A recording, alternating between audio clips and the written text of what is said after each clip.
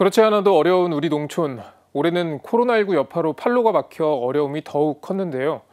이 농민주의를 맞이한 농민들의 마음은 어떨까요? 전은지 기자가 농민 부부를 만나봤습니다. 홍석범 요셉, 윤길순 아기예수의 대레사 부부는 40년 가까이 농사를 지어온 베테랑 농부입니다. 이른 아침 수확한 오이의 크기를 구분하는 작업이 한창입니다. 오이 분류가 끝나자 곧장 방울토마토 밭으로 이동합니다. 빨갛고 탐스럽게 익은 방울토마토는 하나씩 일일이 따야 하기 때문에 손이 많이 갑니다. 그 엄지손톱으로 이걸 눌러요 여기를 여기가 꺾어진 부분이 있잖아요 네네. 꺾어진 부분을 이렇게 이렇게 눌러 일손을 보태 바쁘게 움직이다 보니 어느새 바구니엔 먹음직스런 방울토마토가 가득 찼습니다. 모양이 예쁘지 않아 팔기 어려운 방울토마토는 맛있는 간식이 됩니다. 잡숴보셔야 올해 상반기 농민들은 예년보다 더 힘든 시간을 보냈습니다. 우리나라뿐 아니라 전 세계를 덮친 코로나19 사태 때문입니다. 올해 같은 경우는 이 방울토마토가 코로나 때문에 팔리지가 않으니까 등교 수업이 미뤄지면서 당장 학교 급식용 농작물의 판로가 막혔습니다. 응. 직거래 장터가 열릴 때마다 300상자씩 팔렸던 방울토마토는 소비자를 만나지 못했습니다.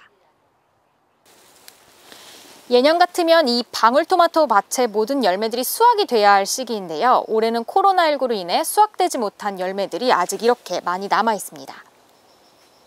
가톨릭 농민회 의정부교구 연합회 회원인 부부는 결국 친척들에게 도움을 청하고 주변 성당의 도움을 받으면서 버티고 있습니다.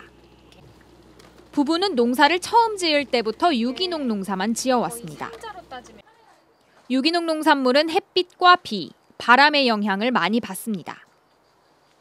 그래서 하느님은 농부이시다라는 성경 말씀을 더욱 절절히 느낍니다.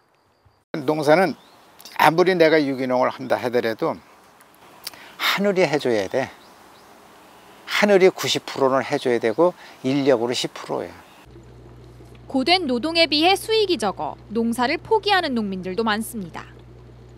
하지만 부부는 땅에 먹거리를 심고 수확하는 것을 자연의 순리이자 하느님의 가르침으로 받아들입니다. 농토를 놀린다는 거는 죄를 짓는 거예요 진짜로 그래서 진짜 돈으로 따지면 몇 푼 안 되지만 그래도 콩도 심고 고추도 심고 심는 거야 그냥 그러니까 아까워서 그 자기 나는 소중하잖아. 그거 키우느라고. 반평생 농사를 지어오면서 가장 속상했던 건 소비자들의 무관심을 마주했을 때입니다. 부부는 그래서 농업농촌에 대한 인식 전환이 시급하다고 말합니다. 농민들이 이걸 농사를 지은 거를 갖다가 소비자들한테 전달할 때 소비자들이 그거를 소비자가 먼저 개혁이 돼야 돼. 소비자가 개혁이 돼야지 농업도 발전이 돼. 25번째로 맞이하는 농민주일. 생명 먹거리를 일구는 우리 농민들, 그리고 농업과 농촌에 대한 관심이 필요합니다. CPBC 전은지입니다.